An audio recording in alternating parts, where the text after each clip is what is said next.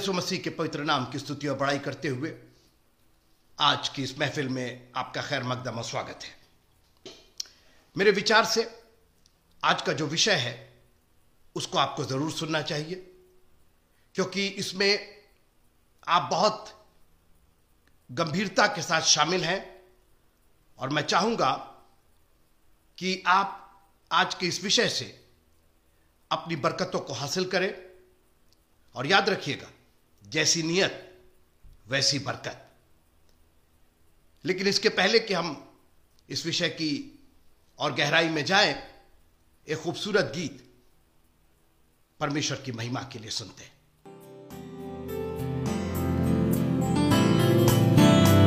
भाई आशु और बहन सोनिया की ओर से एक गीत सुनते हैं हम।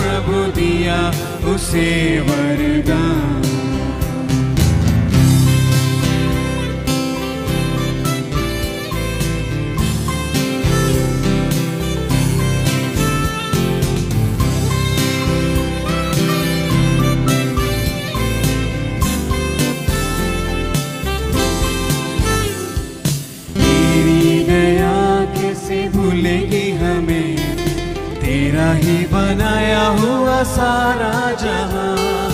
तू ही रहे प्रभु मेरे संग में। जैसा तू है वैसा कोई दूजा है कहाँ। पहले तो ये दुनिया रची, फिर रचा इंसान। जीवन दिया, फिर भोजन दिया, प्रभु दिया। वरदान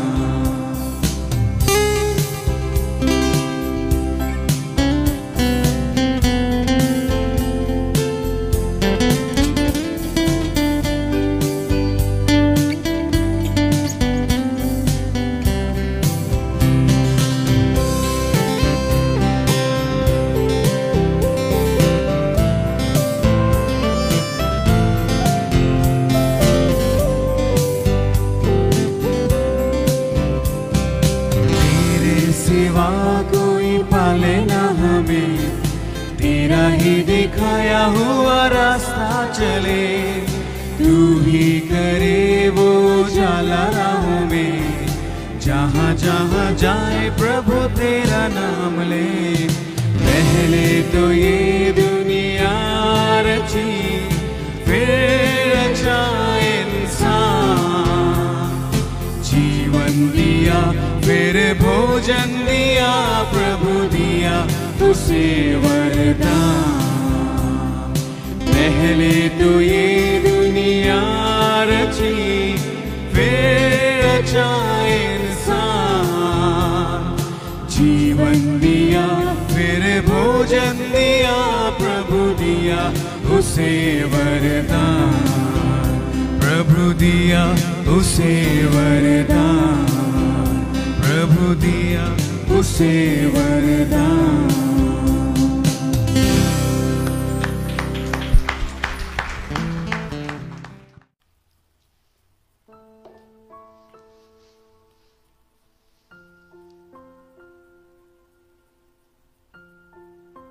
बगैर किसी भूमिका के मैं सीधे अपने विषय पर आना चाहता हूँ। और जैसा मैंने कहा कि मेरा विश्वास है कि आज का जो विषय है, वो आपके बहुत से प्रश्नों का जवाब देगा। और आपको ये जानना चाहिए कि आपके पास जो प्रश्न है, बाइबल किस तरीके से आपको उसका उत्तर देती है। और मैं एक बात यह कहना चाहता हूँ कि अगर आप वास्तव में बाइबल से उत्तर चाहते हैं तो फिर पहला कुरंथियों उसके दूसरा अध्याय और तेरहवीं आयत में लिखा है कि जिनको हम मनुष्यों के ज्ञान की सिखाई हुई बातों से नहीं, आज आपको बहुत से टीचर मिल जाएँगे जो अपने ज्ञान से आपको सिखाए जा रहे हैं। और लोग उनके फॉलोअर्स भी हैं। लेकिन आत्मा की सिखाई हुई बातों से, आत्मिक बातें, आत्मिक बातों से मिला मिलाकर सुनाते हैं। और मैं हमेशा दुआ करता हूँ अपने लिए कि प्रभु जी, मुझे ऐसी तौफीक, ऐसी ताकत दीजिए कि मैं अपने ज्ञान से नहीं, लेकिन आत्मिक बातों को आत्मिक बातों से मिला मिलाकर सुना मेरा अपना कोई ज्ञान नहीं। मैं सिर्फ़ आत्मिक बातों को आत्मिक बातों से मिलाकर और जिस तरीके से आत्मा ने मुझे सिखाया है, वो मैं आप तक पहुँचाने की कोशिश करता हूँ। अब हम आते हैं अपने विषय पर। हमारा आज का विषय है क्यों? क्यों? क्यों? वाय वाय वाय क्यों? क्यों? क्यों? इतने क्यों है हमारे पास आज? हम लिस्ट अगर बनाएँ अपने क्यों की तो अनंत लिस्ट है हमारे पास क्यों की। ये क्यों हुआ, ये क्यों हुआ, मेरे ही साथ ऐसा क्यों हुआ? मेरे ये क्यों मरे? मेरे ये क्यों बीमार है? मेरा ही पैसा क्यों गिर गया? मेरे ही घर में तंगी क्यों है? We are surrounded by this word why, W H Y.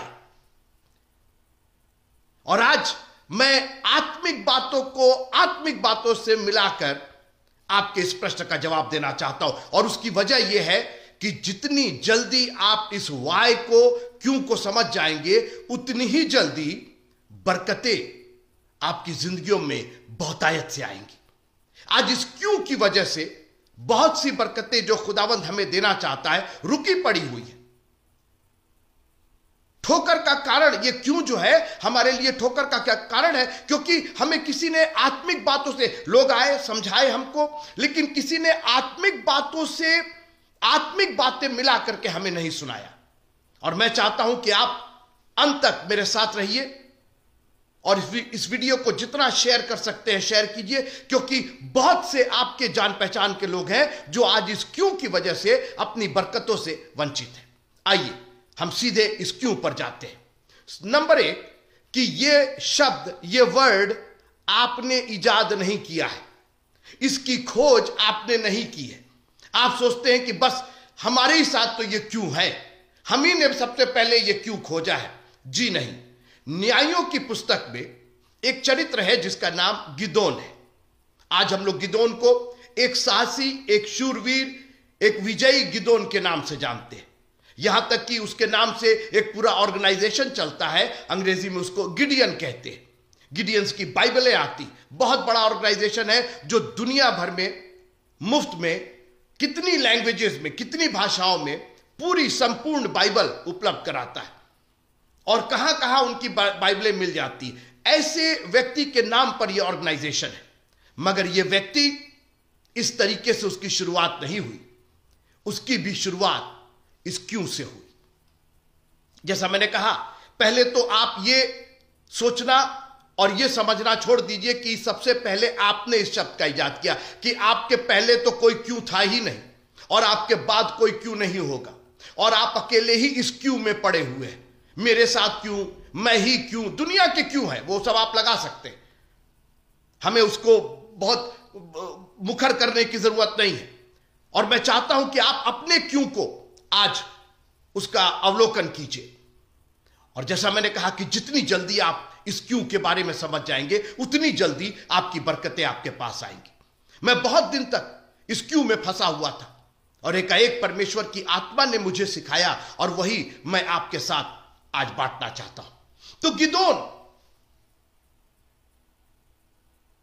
डरा हुआ, सहमा हुआ। न्यायियों की पुस्तक उसके छठवें अध्याय में लिखा है कि वो दाख रस के कुंड में गेहूँ की बालियाँ झाड़ रहा था। मेरी बात ध्यान से सुनिएगा। एक व्यक्ति इतना डिसओरिएंटेड हो गया, इतना दिशा भ्रमित हो गया इतना डर गया, इतनी निराशा में हो गया कि उसको समझ ही में नहीं आ रहा है कि आखिर क्या काम कहाँ करना है, क्या चीज़ कहाँ करनी है।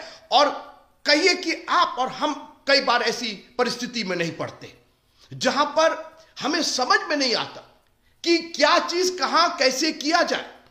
करते कुछ और है, होता कुछ और है, जा रहे हैं इधर, चले जा रहे हैं उधर। और गिदोन दाख रस जहाँ पर निकाला जाता था, जिस कुंड में अंगूर के रस निकाले जाते थे, वहाँ गेहूँ की बालियाँ झाड़ रहा था। आप सोचिए, अब अंगूर का गेहूँ से क्या लेना देना है?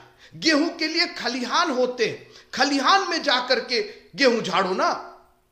ये अंगूर के दाग के रस के कुंड में गेहूँ झाड़ रहा था। सोचिए, ये आदमी कितना डिसोरिएंटेड उसको कुछ समझ में नहीं आ रहा है। और आज हमारी और आपकी भी स्थिति है कि बिल्कुल समझ में नहीं आ रहा है, ये दवाई, वो दवाई, ये कर्जा, वो कर्जा, इसकी मुक्ति, उसकी मुक्ति, इससे छुटकारा, उससे छुटकारा, ये कर्जा चला गया तो वो कर्जा आ गया, ये रिश्तेदार गए तो वो रिश्तेदार आ दुनिया की बातें डिसओरिएंटेड है आज हम लोग।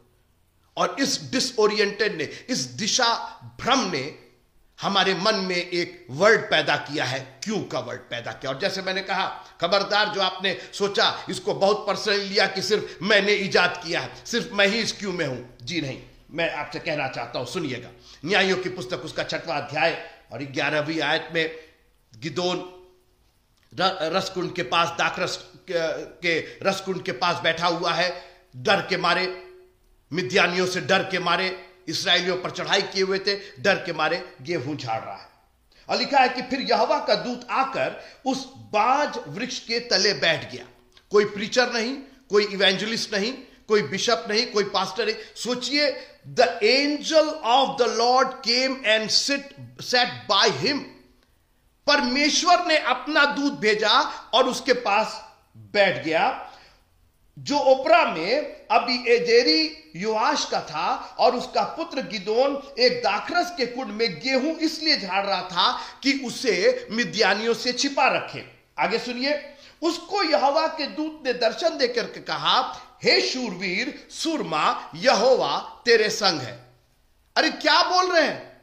दूत, सर, आप क्या बोल रहे हैं? What are you saying angel of the Lord ये आदमी डरा हुआ है, ये शूरवीर नहीं है, ये सुरमा नहीं है। क्या बोल रहे हैं आप? और कई बार, मित्रों, हम ऐसी परिस्थितियों में हो जाते हैं कि कितना भी गंभीर विषय क्यों ना हो, कितना भी अच्छा प्रचार क्यों ना हो, कोई भी प्रीच क्यों ना कर दे, कोई भी बाइबल की आयत हमारे पास क्यों ना आ जाए, हम पर कोई असर नहीं होता। हम डरे ही समय रहते हैं। और ये क्यों शब्द? सोचिए, गिदोन के पास आकर के कोई उसने प्रश्न नहीं किया, क्या हाल है तुम्हारा? यहाँ क्यों बैठे हुए हो? ये दाखरस के कुंड में तुम गेहूँ की बाले क्यों झाड़ रहे हो? ये, इस परिस्थिति में तुम क्यों हो? दूत ने सीधे आके कहा, तू शूरवीर है, तू सुरमा है और परमेश्वर तेरे संग है। मैं चाहता हूँ कि आप अपने क्यों से वाय से आज निकल जाइए ताकि परमेश्वर जो आपके संग है, आप भी उसके संग हो जाइए। आज परमेश्वर का जो वचन आपके लिए है कि आप शूरवीर है और आप सुरमा है और परमेश्वर आपके संग है without any limitation of your situation कोई भी आपकी सीमित परिस्थिति क्यों ना हो खुदावंत आपके साथ है। आगे सुनिए। गिदोन ने उससे कहा, हे मेरे प्रभु बिनती सुन, यदि यहोवा हमारे संग होता मुझे मालूम है आपके पास भी यही प्रश्न है कि अगर यहवा हमारे संग होता, आपने कह तो दिया कि यहवा हमारे संग है। आपने प्रचार तो कर दिया, आपने बाइबल के पद तो पढ़ दिए, लेकिन यहवा हमारे संग है, ये हम कैसे माने? आगे सुनिए। यदि यहवा हमारे संग होता तो हम पर यह विपत्ति क्यों पड़ती? अगर यह तुमने तो आके कह दिया कि तुम शूरवीर हो, तुम सूरमा हो, परमेश्वर तुम्हारे संग है, यहवा तुम्हारे संग है। लेकिन अगर यहवा हमारे संग है तो यह विपत्ति हमारे ऊपर क्यों पड़ी है? देखिए, मैं गिदोन की चर्चा नहीं कर रहा हूँ। मैं क्यों पर बात कर रहा हूँ और अपने विषय से नहीं हटना चाहता हूँ? क्योंकि यह क्यों हर के साथ अलग अलग तरीके से जुड़ा हुआ। लेकिन वर्ड क्यों कॉमन है?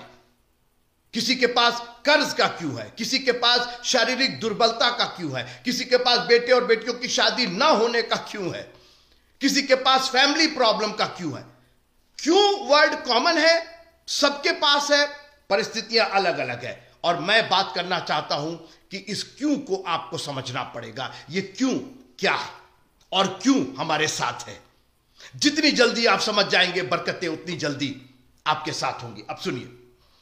सबसे पहली बात bad choices bring bad consequences गलत चुनाव गलत परिणाम लेकर के आता है। इसको नोट कर लीजिएगा कहीं। गलत चुनाव गलत परिणाम लेकर के आता है। गलत बीज बोएँगे, कांटे का बीज बोएँगे तो कांटा ही फलेगा। और बाइबल स्पष्ट रूप से कहती है कि मनुष्य जो बोता है, परमेश्वर नहीं, मनुष्य जो बोता है, वही काटेगा। तो सबसे पहले आपका क्यों? जानते उसकी वजह क्या है? क्योंकि आपका चुनाव ही गलत था। आपने गलत बीज बोया आपने कांटे का बीज बोया और आप टमाटर की फ़सल काटना चाहते हैं। और जब टमाटर नहीं उगता तो आपके मुँह से फूट पड़ता है, अरे, ये क्यों हुआ? ये कांटा क्यों हुआ? अरे, कांटा बोया था आपने। आपने बीज ही गलत बोया था। जब आपको बीज का चुनाव दिया गया when you had the chance to receive the word of God जब परमेश्वर का वचन जो बीज है जब उसका आपको चुनाव करना हुआ तो आप तो कुछ और, किसी और का वचन सुन रहे थे। आप तो अपने परिवार का वचन सुन रहे थे, बच्चों का वचन सुन रहे थे, अपनी बीबी और अपने पति का वचन सुन रहे थे।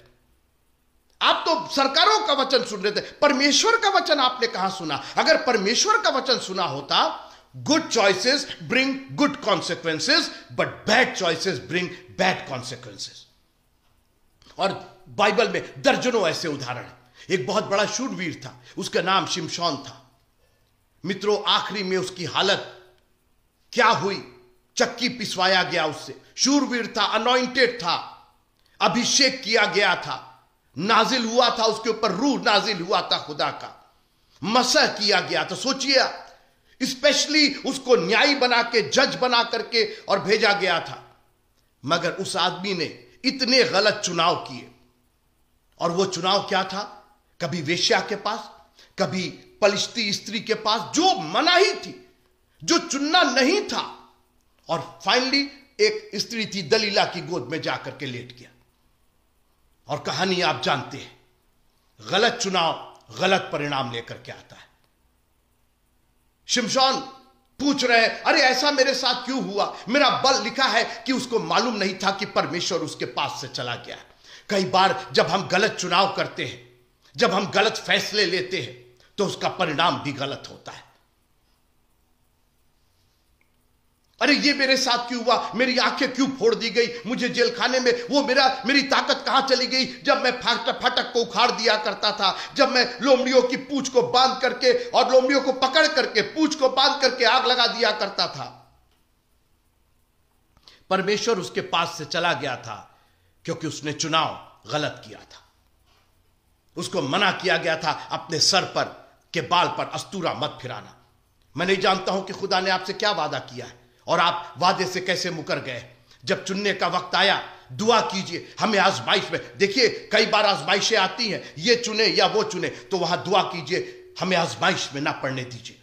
बल्कि बुराई से बचाइए, क्योंकि बादशाहत, कुदरत और जलाल, तीन तीन चीज़ है खुदावंद आपके पास। बादशाहत भी आपकी है, कुदरत भी आपकी है और जलाल भी आपकी है। और मैं आपका बेटा हूँ, आप हमारे बाप है, मैं आपकी बेटी हूँ, आप हमारे बाप है। हम कैसे आजमाइश में पड़ जा रहे हैं? हम कैसे बुराई में पड़ जा रहे हैं? Why am I choosing the wrong stuff दुआ कीजिए कि बादशाहत, कुदरत और जलाल तेरा है।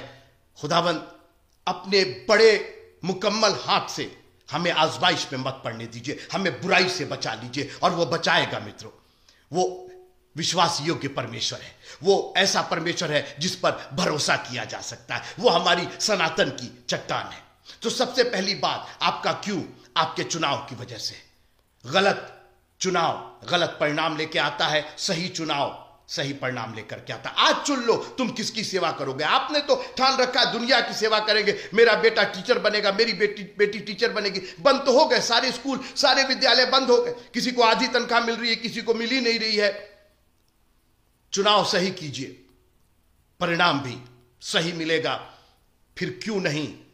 फिर क्यों क्यों क्यों वर्ड नहीं आएगा, बल्कि आएगा, क्यों नहीं? वाई नॉट प्रभु जी, क्यों नहीं आपकी सेवा करेंगे? देखिए, ये जो चुनाव है ना, ये क्यों गलत हो जाता है? थोड़ी देर रहिए मेरे साथ। पहली बात, ज्ञान के ना होने से। जब आपको ज्ञान ही नहीं है, आप टमाटर खरीदने गए, आपको मालूम ही नहीं है कि हरा खरीदना है, कि लाल खरीदना है, कि पीला खरीदना है। आपने कभी टमाटर खरीदा ही नहीं, ज्ञान ही नहीं है आप। आप पिलपिला पिलपिला टमाटर लेकर के चले आए।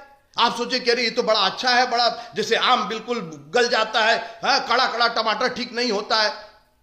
अरे ज्ञान बाइबल कहती है ज्ञान के ना होने से मेरी प्रजा नाश हो रही है। हो, होजे की पुस्तक उसका चौथा अध्याय छठवी आयत लिखा है मेरे ज्ञान के ना होने से। आप कहेंगे ज्ञान तो बहुत है हमको। जी यही तो प्रॉब्लम है। हमको दुनिया का ज्ञान है बस उसका ज्ञान नहीं है। सर्वशक्तिमान प्रभु का ज्ञान नहीं है। हमारे बेटे बेटियों को आज दुनिया का ज्ञान है नो डाउट अरे, मेरा बेटा जीनियस है 98 percent ninety nine percent hundred percent बिल्कुल लेकर के आता होगा। मैं उसके खिलाफ भी नहीं हूँ। प्रभु करे कि आपके बच्चे हंड्रेड परसेंट लेकर के आए। लेकिन कहीं उसका ज्ञान अधूरा तो नहीं है। ज्ञान के ना होने से मेरी प्रजा नाश हो गई है। अन्य जाति नहीं, मेरी प्रजा। मेरी प्रजा अगर है तो उसको मेरा ज्ञान होना चाहिए। आज दुआ कर रहे हैं, दुआ किए जा रहे ए, हमारे बाप तू जो आसमान पर है। हमें मालूम ही नहीं है कि हमारा बाप कौन है। वो किस आसमान पर है? उसका नाम क्या है? उसकी इच्छा क्या है? स्वर्ग में उसकी इच्छा क्या है? यहाँ क्यों नहीं पूरी? यहाँ तो हम अपनी इच्छा लगाए हुए हैं, स्वर्ग की ऐसी की तैसी। हमारी इच्छा पूरी हो जानी चाहिए। ज्ञान के ना होने से हम चुनाव गलत कर जाते हैं। एक और बात है। हट, जो हम लोग का ईगो है ना मित्रों, जो सरकशी है हम लोग की, ये हमको चुनाव गलत करने पर मजबूर कर देती हम हट कर जाते हैं। और लिखा है यशैया की पुस्तक उसके पहले अध्याय में लिखा हुआ कि तुम बलवा, पहला अध्याय और पाँचवें अध्याय तुम बलवा करके क्यों अधिक मार खाना चाहते हो? आज हमने बलवा किया, हट किया हुआ है। नहीं, हमको तो यही चाहिए, मेरा बेटा डॉक्टर ही बने। खुदा कहता है, मैं इसको अपने काम के लिए इस्तेमाल करना चाहता हूँ। हमने वादा किया था, जब उसको डेडिकेट किया था, प्रभु डेडिकेट किया हमने आपको। आज क्रिस्टनिंग हुई है। मैंने बच्चे को डेडिकेट कर दिया और जब बच्चा बड़ा हो गया, जब पाँच साल का हो गया तो हन्ना की तरह सामुएल को मंदिर में लाने की बजाय हम तो किसी और शिक्षा मंदिर में लेकर के चले गए उसको। हम तो शिशु मंदिर में लेकर के चले गए। हमारा बेटा तो इंजीनियर बनेगा। डॉक्टर बहुत अच्छी बात है, बनाइए। लेकिन खुदा की मर्ज़ी के आगे अपनी जिद मत कीजिए। कहीं ऐसा लिखा है? कि उसने उन्हें मुँह मांगा, वरदान तो दिया, लेकिन उनके प्राण को सुखा दिया। जब इसराइली मांगते थे, हमें मन्ना चाहिए, हमको मीट चाहिए, हमको मांस चाहिए तो दिया, खूब मांस दिया। और इतना मांस दिया जबकि उनके मुँह से, जब तक कि उनके मुँह से निकलने उगल, उगलने ना लगे। उसने उन्हें मुँह मांगा, वरदान तो दिया, मगर उनकी जान को सुखा दिया। मैं नहीं जानता हूँ कि आपको मुँह मांगा, वरदान तो मिल गया। अरे, मेरे बच्चे का एडमिशन हो गया, मेरी बच्ची का एडमिशन हो गया। आज मुझको नौकरी मिल गई। बिल्कुल प्रभु करे, बड़ी बरकत दे आपकी नौकरी पर और आपके बच्चों के एडमिशन पर। मगर कहीं ऐसा तो नहीं है कि आपका प्राण सूख रहा है और फिर आप एक ही क्वेश्चन कर रहे हैं, आखिर ऐसा क्यों हुआ? ये क्यों हुआ? क्योंकि आपने और हमने हट किया है। चुनाव गलत हो गया। एक और बात। भूलने की वजह से। ये जो मेमोरी है ना मित्रों ये मेमोरी है ये इतनी शॉर्ट हो गई है क्योंकि जानते मेमोरी का क्या प्रॉब्लम है? मेमोरी भर जाती है याद रखिएगा। मेमोरी ओवरलोड होकर भर जाती है। आप, आप अपने फ़ोन में देखिए अपने कंप्यूटर्स में देखिए मेमोरी भर जाती है और फिर कुछ और उसके अंदर आप डाल नहीं सकते डाउनलोड नहीं कर सकते क्योंकि मेमोरी भर गई आज हम लोग की मेमोरी दुनिया की बातों से भर गई है। इसने ऐसा कहा उसने ऐसा वैसा कहा उसने हमको दस साल पहले ऐसे कहा क्या कर रहे हैं? अरे पुरानी फाइलों को डिलीट कर दीजिए।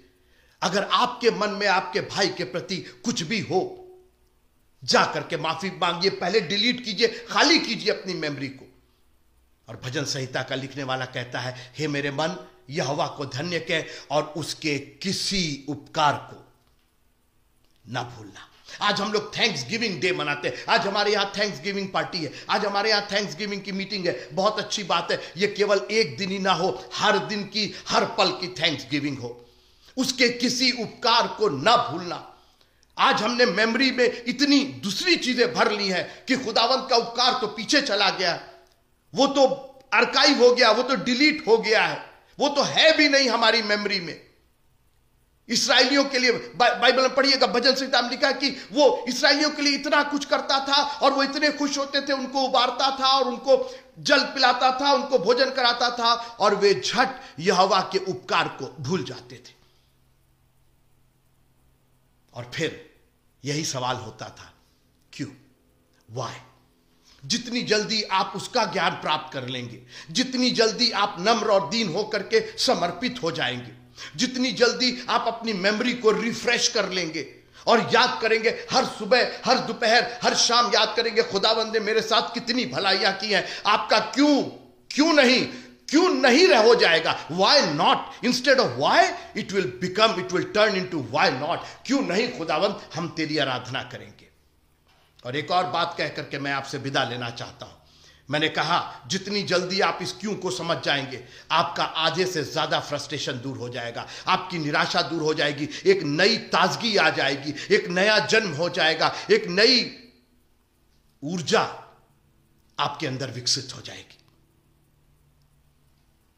Bad choices bring bad consequences बुरा चुनाव, बुरा परिणाम लेकर के आता है। अच्छा चुनाव अच्छा परिणाम लेकर के आता है। और एक और बात इस क्यों की? वो सर्व शक्तिमान परमेश्वर है। याद रखिएगा। और हमारा और उसका रिश्ता बहुत कुछ का है। एक रिश्ता, वो कुम्हार और हम मिट्टी हैं। यरमैया के अठारहवें अध्याय में परमेश्वर यह परमेश्वर ने, यरमैया से कहा, उठ करके कुम्हार के घर जा और मैं वहाँ तुझको अपना वचन सुनाऊँगा। तो वो जाता है और क्या देखता है कि कुम्हार उस चाक पर एक बर्तन बना रहा है। और लिखा है कि बर्तन बर्तन बनाते बनाते बिगड़ गया। सुनिएगा।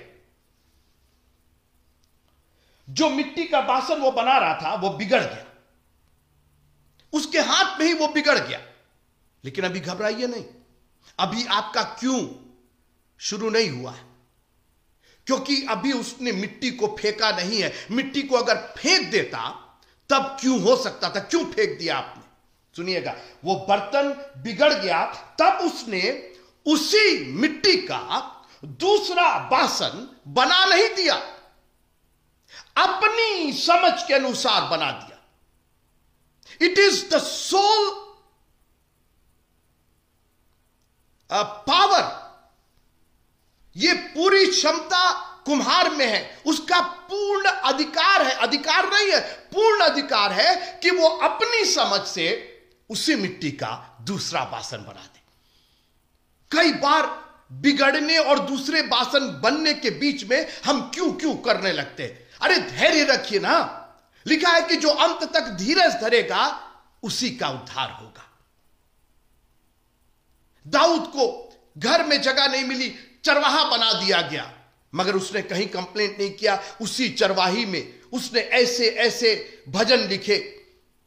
ऐसी ऐसी बातें कही जो आज तक हमारी और आपकी अगुवाई कर रही है। यह हवा मेरा चरवाहा है, मुझे कुछ घटी। वो धैर्य से, उसको राजा बनना था, मित्रों।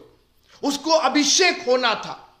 मगर अभिषेक होने, अब उसके पैदा होने, उसके बड़े होने और अभिषेक होने के बीच में जो गैप था, उसमें उसने धैर्य रखा, क्योंकि उसको मालूम था कि अभी वो कुम्हार के हाथ में है। और आज मैं आपको उत्साहित करना चाहता हूँ। हमारे कुम्हार ने हमारी इस मिट्टी को फेंका नहीं है। अगर कहीं हम बिगड़ गए हैं, कहीं हमारा नुकसान हो गया है, कहीं हमारे पास क्यों आ गया है just wait wait upon the Lord अपने प्रभु पर भरोसा रखिए। और कहिए, प्रभु, मुझे मालूम है आपने हमें अभी छोड़ा नहीं है। अभी आप अपनी समझ से एक दूसरा बासन बना दीजिए और खुदा का शुक्रिया अदा कीजिए कि उसने अपनी समझ से एक दूसरा बासन बनाया। क्योंकि हमारी समझ तो किसी लायक नहीं है। लिखा है कि परमेश्वर की मूर्खता भी इंसान की बुद्धिमानी से कहीं बेहतर है। खुदावन तू अपनी समझ से बनाना। हमने अपनी समझ से अपने आप को बनाने की कोशिश की तो हम तो बिगड़ गए। हम तो बेकार हो गए। हमारा तो काम ही नहीं सफल हुआ। हमारा बिज़नेस नहीं सफल हुआ। हमारी नौकरी सफल नहीं हुई। हम हर तरीके से हताश हो गए। हर तरीके से अब नीचे और नीचे ही चलते चले गए। उड़ाऊ पुत्र सारी संपत्ति लेके दूर देश चला गया था। सोचा था बहुत कमाएँगे, बहुत एंजॉय करेंगे, अपनी लाइफ अपने तरीके से जिएँगे। लेकिन अंत उसका सुअर के बारे में हुआ। अपनी मर्ज़ी से जीने का यह परिणाम हुआ। मगर जब वो लौट करके आया तो पिता ने उसने कहा, फिर अपनी समझ उसने लगाया, मुझको नौकर की तरह रख ले। बोला, पिता ने कहा कि अब तुम्हारी समझ नहीं चलेगी, अब मेरी समझ चलेगी। तुम फिर तुम मर गए थे। पहले तो मैं तुमको ज़िंदा करूँगा, तुमको झट अच्छे से अच्छा वस्त्र पहनाऊँगा, तुम्हारे पाँव में जूतियाँ पहनाऊँगा और तुम्हारे उंगली में एक अंगूठी पहनाऊँगा। मैं तुमको फिर एक बेटे के रूप में अपने पास ग्रहण कर रहा हूँ। दुआ कीजिए कि प्रभु हम कुछ क्यों नहीं कहेंगे, बल्कि हम कहेंगे, क्यों नहीं? आप जो चाहे, जिस तरीके से आप मेरे को मोल्ड करना चाहे फ़ैशन करना चाहे, बनाना चाहे, आप बनाइए। क्योंकि आपकी समझ, मेरी समझ से कहीं कहीं कहीं कहीं बेहतर है। और आपकी जो समझ है, आपकी जो सोच है मेरे लिए, वो हानि की नहीं, बल्कि लाभ की है। हालेलुया। बुरा चुनाव बुरा परिणाम लेके आता है। अच्छा चुनाव अच्छा परिणाम लेके आता है। हट मत कीजिए। उसका ज्ञान रखिए। भूलिए मत उसके उपकारों को। और फिर अपने आप को प्रभु के हाथ में दे दिए, क्योंकि वो अपने ग्लोरी को, अपनी महिमा को किसी से शेयर नहीं करेगा, बल्कि वो कई बातें विपत्ति डाल करके अपना सर्वशक्ति मानता दिखाता है। ध्यान से सुनिएगा। वो विपत्ति डाल करके, और ये बहुत स्पष्ट रूप से निर्गमन की पुस्तक में, जब इतनी विपत्ति आई तो उसको यह परमेश्वर ने ही स्पष्ट किया कि मैं ये विपत्ति तुझ पर क्यों भेज रहा हूँ? फिर परेशान था कि ये विपत्ति एक हम पर क्यों आ रही है? अब सुनिएगा। नहीं तो अब की बार मैं निर्गमन की पुस्तक उसका नौवा अध्याय और चौदहवीं आय से पढ़ो। नहीं तो अब की बार मैं तुझ पर और तेरे कर्मचारियों पर और तेरी प्रजा पर सब प्रकार की विपत्ति डालूँगा। क्यों डालूँगा? क्यों साहब? क्या हमने क्या गलती की है? तुमने गलती नहीं की है, लेकिन मैं तुमको अपनी महानता दिखाना चाहता हूँ। आगे सुनिए। जिससे तू जान ले कि सारी पृथ्वी पर मेरे तुल्य कोई दूसरा नहीं है। कई बार परमेश्वर विपत्ति ला करके अपनी महानता दिखाता है। मैं नहीं जानता हूँ कि हम किस विपत्ति में है। कोई पर्सनल विपत्ति, और वैसे तो यह महामारी एक विपत्ति के रूप में आई हुई है, मित्रों। कितने अपने प्रियजनों को हम लोगों ने खो दिया, इतनी बड़ी विपत्ति। कहीं ऐसा तो नहीं है कि वो हम लोग को जनाना चाहता। कई बार हम फिरौन के समान हट्टी हो जाते। कई बार फिरौन के समान हम दूसरे देवी देवताओं की उपासना करने लगते। कई बार फिरौन के समान हम परमेश्वर के पराक्रम को जानते नहीं, उसको तो पहली बार उसने कहा यह हवा कौन है? और आज कई बार हम भी फिरौन हो जाते हैं। फिरौन की आत्मा हमारे में आ जाती यह हवा कौन है? दुआ कौन करेगा? बाइबल कौन पढ़ेगा? दशवांश कौन देगा? हमारे अंदर फिरौन की आत्मा आ जाती है। इस आत्मा से बचिएगा मित्रों, हट मत कीजिएगा। फिरौन बार बार हट कर रहा था बार बार हट कर रहा था। और बाइबल कहती है, जो बार बार डांटे जाने पर हट करता है, वो अचानक नाश हो जाएगा। और फिर आप पूछते हैं, क्यों ऐसा हुआ? मेरे तुल्य कोई नहीं। मैंने तो अभी हाथ बढ़ाकर तुझे और तेरी प्रजा को मरी से मारा होता और तेरा सत्यानाश पृथ्वी पर से हो जाता। परंतु सचमुच मैंने इस कारण तुझे बनाए रखा है कि तुझे अपना सामर्थ दिखाऊँ और अपना नाम सारी पृथ्वी पर प्रसिद्ध करूँ। कई बार हमारी जिंदगियों में जो क्यों है, वो इसलिए है कि उसकी प्रसिद्धि, उस विपत्ति में उसकी प्रसिद्धि हो जाए। कई बार हम आर्थिक रूप से इतनी तंगाई में चले जाते हैं। थोड़ा सा आटा और थोड़ा सा तेल रह जाता है, ताकि परमेश्वर ये दिखाए कि उसी थोड़े से आटे और थोड़े से तेल को वो कभी ख़त्म नहीं होने देता। ठीक है, उसका घड़ा कभी भरा नहीं होगा, उसका, उसके कुप्पी में कभी पूरा लबलबा तेल नहीं होगा, लेकिन जब वो निकालने गई होगी, तब उसके आटे में तेल, आटे में उसके मटके में आटा था और उसकी कुप्पी में तेल था। मित्रों, कई बार परमेश्वर अपनी सामर्थ हमारी कमजोरियों में दिखा, दिखाता है। यमुना की इंजील उसके नवे अध्याय में एक जन्म से अंधे व्यक्ति को लोग लेकर के आए और सवाल उनका था, क्यों हुआ ये? किसने पाप किया? इसने या इसके माँ बाप ने? उनके पास भी वही वाय था, क्यों था? और यीशु मसीह ने एक तीसरा उत्तर दिया, बोला, ना इसने, ना इसके माँ बाप ने, ये परमेश्वर की महिमा के लिए हुआ। कई बार हमारी जिंदगियों में बहुत कुछ क्यों इसलिए होता है कि वो अपनी महिमा दिखाना चाहता है। हमारी कमजोरियों में वो हमारी ताकत बन जाता है। हमारा छुआ, कई बार अगर हम कमज़ोर नहीं है तो हम इग्नोर कर जाते हैं। अरे, हम तो सब कर सकते हैं। हमारे पास तो सब कुछ है। लेकिन जब हम कॉर्नर हो जाते जब हम कोने में हो जाते जब सब कुछ खत्म हो जाती, जब सारा अधिकार और सारा वैभव खत्म हो जाता है तो हमको परमेश्वर दिखाई देता है। थैंक यू लॉर्ड बारह साल से वो परेशान थी, मैं उस स्त्री की बात कर रहा हूँ। और लिखा है कि उसने अपना सारा माल वैद्यों पर व्यय कर दिया था। शी वॉज़ कंप्लीटली ब्रोक कई बार खुदावंद हमको, उसको अभी तक दामन नहीं दिखाई दे रहा था। दामन ज़रूर होगा और कई बार खुदावंद हमको बिल्कुल ऐसी आर्थिक तंगी में डाल देता है कि फिर हमको सिर्फ़ उसका दामन दिखाई देता है। और सोचिए, अगर उसके पास पैसे होते तो फिर किसी डॉक्टर के यहाँ लाइन लगाती, फिर किसी पर कहीं पर्ची कटवा रही होती। फिर कोई दवाई की दुकान पर खड़ी होती, लेकिन आज उसको यीशु मसीह का दामन दिखाई दे रहा है। मैं नहीं जानता हूँ कि आप किस क्यों में पड़े हैं, लेकिन एक बार इस मैसेज को जो प्रभु ने आपके लिए दिया और मैंने सिर्फ़ आत्मिक बातों को आत्मिक बातों से मिला करके आप तक पहुँचाया है, इसको बहुत शिद्दत के साथ, बड़ी गंभीरता के साथ, नहीं तो आप क्यों में पड़े रहेंगे? बजाय इसके आप ये कहने के क्यों नहीं प्रभु जी? आप कुम्हार है, हम मिट्टी है, जो जो जिस तरीके से आप बनाना चाहे हम आपके हाथों से हटना नहीं चाहते। कोशिश कीजिए। इस वचन को दो बार, तीन बार सुनिए, आपको समझ में आएगा। ये क्यों से आपको निकलना ही पड़ेगा? क्योंकि आपकी बरकतें आपका इंतज़ार कर रही हैं। Your blessings are waiting for you but these this why इस क्यों ने उन बरकतों को रोक रखा है? ये हमारे लिए ठोकर का कारण बन गए। हमारे परिवार के लिए, हमारे बच्चों के लिए, हमारे खानदान के लिए ठोकर का कारण ये क्यों बना हुआ है? इस क्यों को आज निकालिए और कहिए क्यों क्यों नहीं रहेगा, क्यों नहीं होगा? Instead of why why not होगा? प्रभु, आप सबको बड़ी आशीष दे। इस क्यों का जवाब हमारे प्रभु के पास है। और वो हमारे इस क्यों को दूर करके क्यों नहीं बरकतों का बाइस बनाएगा। खुदा सबको बड़ी आशीष दे। जय मसीह।